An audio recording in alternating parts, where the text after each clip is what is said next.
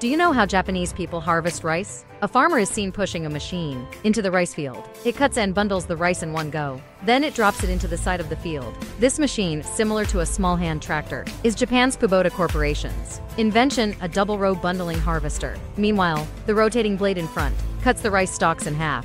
Then the middle gathering device bundles the harvested rice together. It then pushes the bundle away from the machine. Although this process sounds complex, we can see in the video that the machine performs harvesting and bundling seamlessly. There's no wasted motion at all, and judging by its speed, it's much faster than traditional manual harvesting.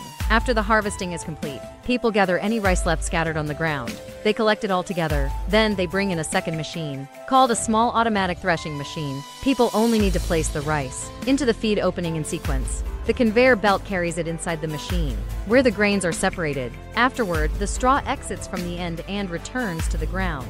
The grains fall into bags placed at the output. With these two machines, the harvesting process is not only efficient, but also eliminates the hassle of post-harvest bagging. We have to admit, Japan has quite a system. When it comes to agricultural machinery, they really know their stuff